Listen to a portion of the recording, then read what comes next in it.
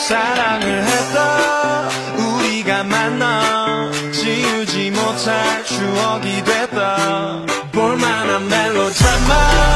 괜찮은 결말